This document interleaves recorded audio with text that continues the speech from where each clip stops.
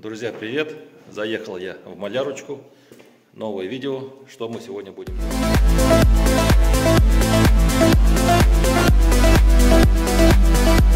Автомобиль 2018 года, ноябрь, то есть 5 лет моему автомобилю. А, обычная проблема у всех них у нас стыки. Но у меня стыки в нормальном, хорошем состоянии, потому что я изначально сновья изнутри засовывал трубочку и все стыки обрабатывал.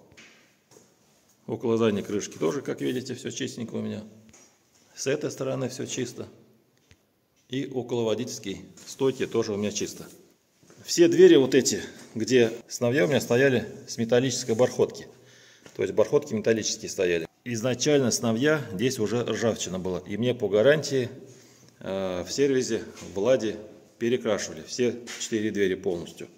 Потом я нашел вот эти резиновые бархотки, поставил потому что резиновые бархотки уже так металл не будут натирать.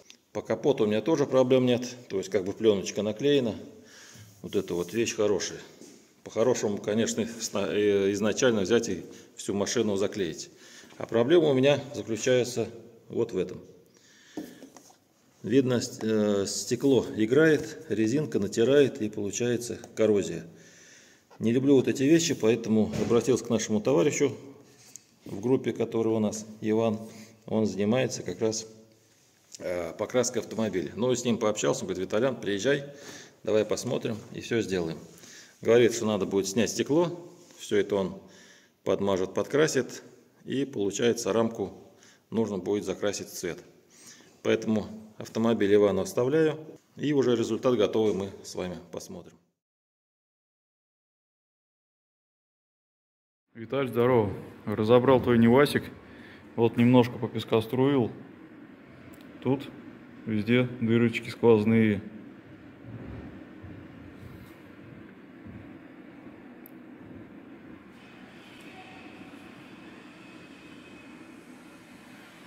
Правая сторона почти то же самое. Ну, чуть-чуть получше.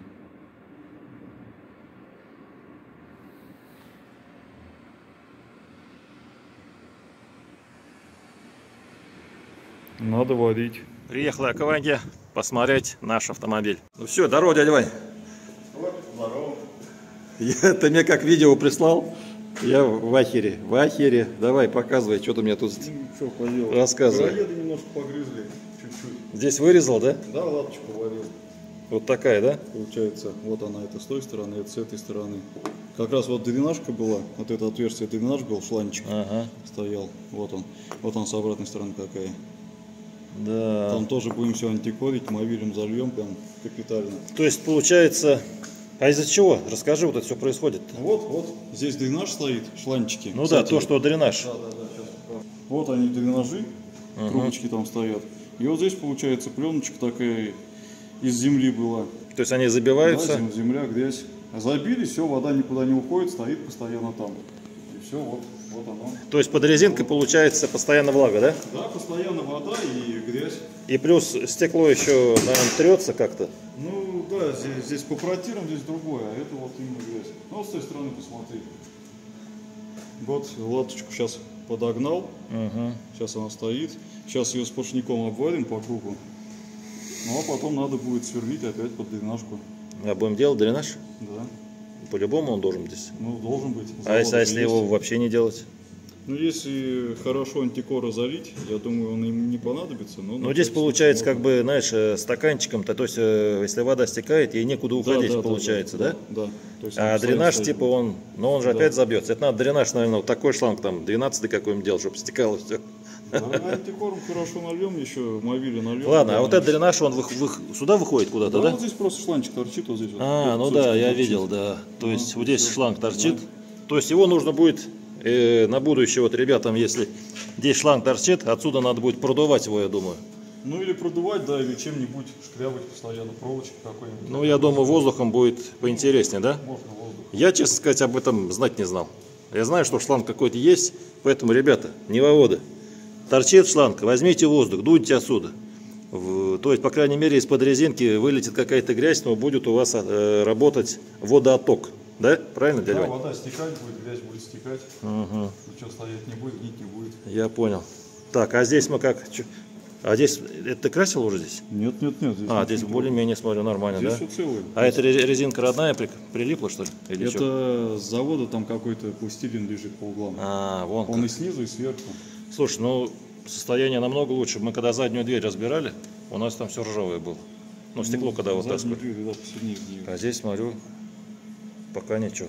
То есть ты там заварил, загрунтовал, да? Да. Сейчас здесь тоже обваришь, Сейчас шкурнешь. там, э, сейчас там только эпоксидный грунт, то есть сварной э, шов сейчас закрыл эпоксидным грунтом, потом это надо будет опять расшлифовать и уже подшпаклевываться будет сам шов, ну, чтобы не было его видно. А эпоксидный грунт для того, чтобы поры вот эти сварочные все залить, и чтобы ну, сами поры были именно загрунтованы, а не Понятно. просто шпаклевкой их замазать. А Понятно. на эпоксидничек шпаклевка отлично ложится. Протиры до голого металла будем фосфатирующим грунтом. Ясно. Слушай, ты говорил по стеклу, что если там какие-то трещины, оно сложно Нет, вытаскивается. целое, целое Все нормально, да, вышло? Да, долго, конечно, я его выковыривал, аккуратненько, но целое осталось. Ясно. По резине ничего, нигде не потрескалось, нормально? Нет, вся целая она. Все с резинкой отлично. Я так считаю, что если покупать новый автомобиль, и на будущее, кто смотрит, товарищ Невовода, купили автомобиль, берете здесь резинку, отгинаете, берете баллончик с мовилем жидкий и заливаете, чтобы она начала течь у вас отсюда. Как только зальете мовилем, вот я с той стороны э, мовилем заливал, да, состояние, Да, в принципе, да, вот, вот это вот самое главное. вот, На новых машинах состояние нормально. потолок, вот эти вот стоечки внутренние пластмасски надо снимать, облицовку, отодвигать потолок, вот сюда в этот карман заливать мовиль прям по полной, чтобы он вытекал аж отсюда. Да, Потому я что всегда на них вот эти места цветут, согласен, и согласен. как раз вот этот карман, если залить, она будет ходить. Да. Поэтому, часто. ребята, вот на себе испытал, три года хотел это сделать, купили, отогнули, залили мовиль. Везде, где есть резинки, вон заднее стекло, задняя дверь, но у меня задняя дверь пластиковая, мне как бы не надо. В любых местах зальете и будет вам счастье, не будет вам такой беды.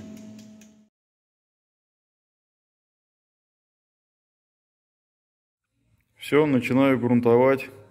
Э, Все протиры до голого металла подгрунтовал фосфатирующим грунтом, сейчас кислотным. Уже развел наполнитель. Сейчас машину все накроем и наполнителем загрунтуем. Все загрунтовано грунтом наполнителем. Два хороших толстых слоя. Все ровненько. Вот такие водостоки теперь будут.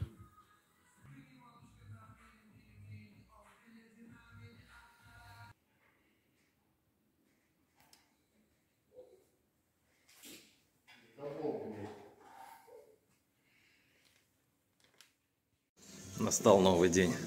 Иван позвонил, говорит, приезжай. Сейчас с вами оценим работу. Приветствую.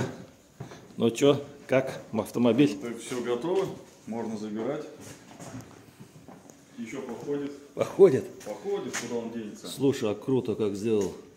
Ребят, помните, здесь вот вырезал? Слушай, вообще четко. Даже незаметно. Ну и вставочка валена. Ты слушай, ну красавчик. Красавчик.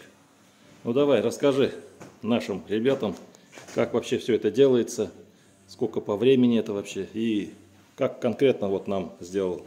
Три дня. А, в общем, а, вырезали коррозию.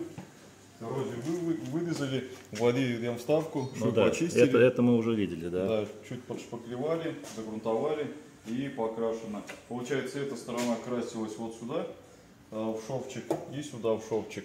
То есть вот это место полка. Ну и полка, соответственно, красилась э, вместе с этим местом под уплотнителем. Под под уплотнителем тоже были натертости. Поэтому красилось так. А с той стороны у нас рыжик еще был где-то вот здесь в этом месте был еще рыжий. Поэтому здесь делался переход вот так вот пятном.